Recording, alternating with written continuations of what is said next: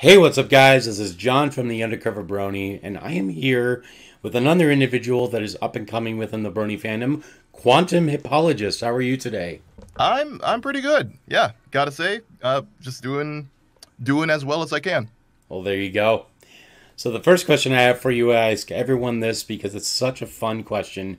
But what is your Brony story? How did you get into the fandom? Ooh, uh, okay, it was definitely definitely in the fourth grade which I was like what nine at the time. Mm-hmm. So I think it was like towards the end of season three, or like mm-hmm. somewhere in season three.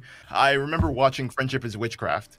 Uh, uh, that's one of the most prominent things that I remember. I remember I don't I never understood the jokes because you know revisiting Friendship is Witchcraft now, uh, uh G- Jesus Christ! But Friendship is Witchcraft is what got me into into My Little Pony, and then I I, I was like a brony throughout the fourth grade. Sort of stopped in the fifth grade, and then uh, in 2021, at the beginning of 2021, mm-hmm. I got back into My Little Pony uh, because it was on Netflix. I just decided, you know, why not? So I just watched all, I binged all of it, and um, yeah, uh, it's uh, it's a, it's a very good show. yes, indeed. That's very interesting. Um, you know, because I'm sure a lot of people have gotten into it due to having the exposure on Netflix, and with G5 now being on Netflix, it's bringing more traffic over there as well. But I'm super fortunate because like I didn't know G5 was going to be a thing. Like I I entered into the fandom completely ignorant to um to G5, but like by the time I was finished with the series, I was like, oh dang, there's going to be a movie coming out. That's that's pretty cool. Yeah, I, I've been in the the fandom quite a bit longer. I've been in it since uh, now it's been a little over ten years, which is crazy to think. So, coming from someone who was there at the beginning, not nowhere near the middle, and definitely towards the end, that, that's that's pretty wild. Yeah. Uh, so my next question for you is, what programs and equipment do you use for your recording and editing? Okay. Uh, for editing, I have um, Movavi 2020. Okay. It's it's all right. It's it's fine. I, it's not, not the best. I'm looking to upgrade soon. Uh, I have a HP Pavilion uh, X360 laptop. Uh, it's efficient enough. Sometimes it lags. For my uh, for my audio, I'm using a Shure SM uh, SM57 microphone. Uh, I don't have a pop filter, so what I did was I took one of the um the soundproofing tiles that I use for my wall and just like rubber band it on top of it. So it, it's it's all it's all very makeshift right now. But that's um that's basically yeah that's basically all I'm using. You know, work smarter, yeah. not harder. Yeah, ex- exactly. That I mean, it's not the best, but hey, it's uh, it's what I'm working with. Mm-hmm. Uh, so my next question is: Your videos go in depth with both the books and Equestria Girls. This is the first channel I've seen that is almost exclusively uh, from that sort of alternative media. Do you prefer Equestria Girls and the alternative media more than G4, or is it kind of similar in your eyes? That's an interesting question. Uh, I'd say more so similar because I I really don't like separating Equestria Girls. It's it's it's a very it, it's it's very different in a way, but it's still like you know mostly the same staff, mm-hmm. right? Yeah. And like uh, when it comes to like my channel and what it's tackling right now, I kind of want to stay far away from the main series as much as possible because you know there are tons of there are tons of channels with a decade of content about uh, My Little Pony Generation Four. So mm-hmm. if I, if I'm going to talk about G4 at all, I'm I want it to be you know more unique and more uh, alternative and tell people about what they might not know about. And i agree with that you know it, it makes your channel very unique. Uh, you you definitely handle a very niche part of the fandom. I know that there's other channels out there that have covered equestria girls and covered some of the the comics and whatnot um, but yours is very specialized in that aspect so i do find that very unique uh, so my next question, uh, going along with uh, what I asked before, um, what do you find the most fascinating about the book and the comics versus the actual show? That's a really good question. The books or the comics definitely lean towards the more I wouldn't say mature, but definitely like they have a lot more references that kids wouldn't get. Like they're they're they're very they're very comic like if that makes any sense. Mm-hmm. Like it, it, it, leans fully into the nature of it being a comic that is sort of aimed at bronies, but is still sort is still sort of kid friendly. They're they're writing the line a lot. Like it's very um Batman. It, it, yeah, it's very Batman like if that makes any sense. Mm-hmm. And uh, the books, the books I just find to be like very very nice supplementary material because it it's G4, but for people who just want a little bit more and don't like pony life. Mm-hmm. I would agree with that. I mean, it's it's very interesting because G.M. Berrow, who only did a couple episodes of the show but was the main uh, writer for the books themselves, um, mm-hmm. now coming on to Generation Five as one of the head writers. It's it's very fascinating to kind of see her career in that aspect, coming from the books to a little bit of G4 and now mainly heading up G5. It's a, it's an interesting career path. Yeah, I think I think if anyone is to handle G5 f- from G4, I'd I'd pick G I'd pick uh, GM Berrow. Like she's she's definitely like the um uh the the OG, I guess. I mean, mm-hmm. if she wrote the books, then she can write G5. Yeah. And I have to say, you know, some of her episodes from G4 was great. Like uh the point of no return where Twilight has to I, uh, I doing the point of no return. Yeah, you know where Twilight has to take out the overdue library book, and just the way that episode is structured and all the different places that Twilight and Spike go to, it's it's makes it a really fun episode. Yeah. I, I I'd call that episode like amending fences 2.0 in the sense that like it's taking something from season one and bringing it into a into the current season. I would completely agree with you on that. What was it? Her first episode. Um, the one where Pinkie uh, Pie knows.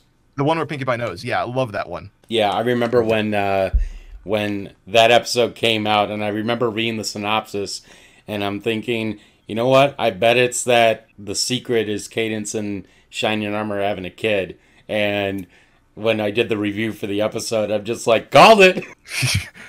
I'm. Uh, by the way, I am on firm team. Uh, you know, it's okay that Pink that we know what Pinkie Pie knew because you know if, if we didn't know, then it'd be it, it, would just be like a, a, a, weird a weird kind of mystery. You know, I, I, I much prefer getting Pinkie Pie's perspective on that whole thing because I knew that was like a like a debate that happened when the episode came out.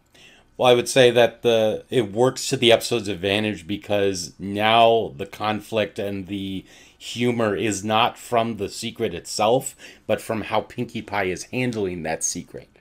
Right. I'd, I, I'd do the same thing. I'd crumble into a bunch of limbs at the end of the episode, too. Yep. I, I would agree with that. So, my next question is you have, over the course of your videos, uh, have had a quest to compile everything together um, I find that very fascinating that you're trying to keep the show, Quest Girls, the comics, and all the books into one massive chronology. What's been the main drive behind that? I, okay, well, for one thing, I am a very, very big advocate on absorbing everything that a franchise has to offer. So I want to say in like one to two year intervals, I, I will just throw myself into a fandom completely mm-hmm. and just absorb all the knowledge that I can.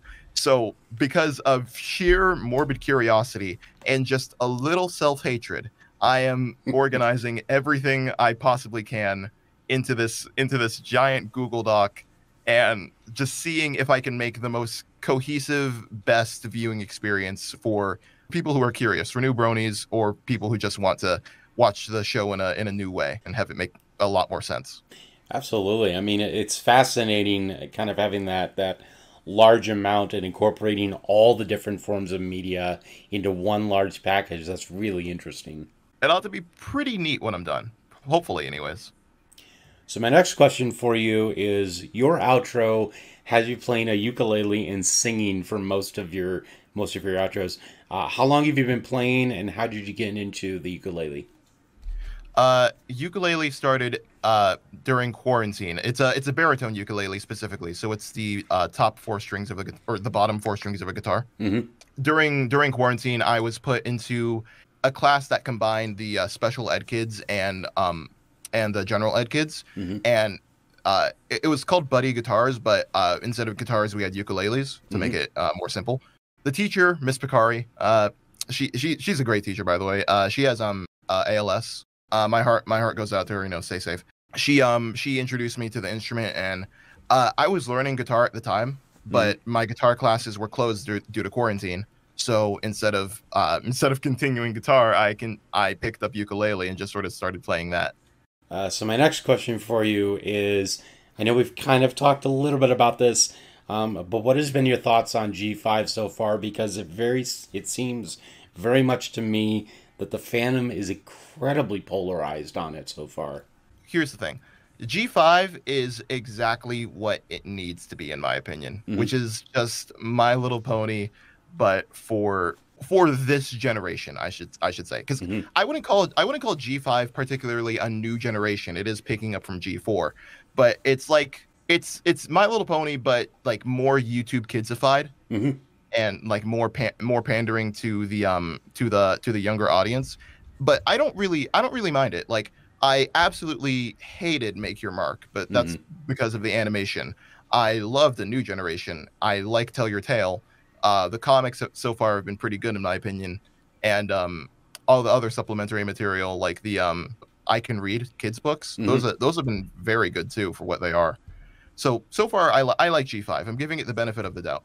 I'll tell you what, G5 has done exactly what it needs to do. It had an amazing start with new with a new generation, and then it has completely lowered all of our expectations. So uh, that's probably unintentional, but just because our expectations are so so low right now with Tell Your Tale and Make Your Mark, it's it can really only go up from here, in my opinion.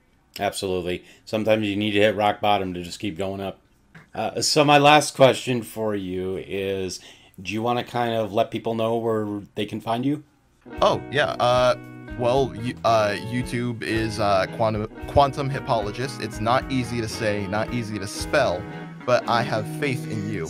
And um, Twitter is also the also the same thing at quantum hippolog. Uh, I guess I guess I have like a like a, a Bandcamp if you want to, if you want to listen to my uh, my very basic MIDI compositions and also one song of me singing. I'll, I'll probably I'll probably post more songs as as the channel grows and I can get more traction to the music side of my my entire shtick. But yeah, uh, Quantum Hippologist and Irradiated Radiance. That's where you can find me. Cool. Well, thank you so much for coming on for this interview. This was an absolute blast to do. Hey, no problem. Thank you for having me. So, as always, that's it from me, John, And uh, I'm Quantum Hippologist. Goodbye. and we will talk to you guys later. Peace out, Dragon.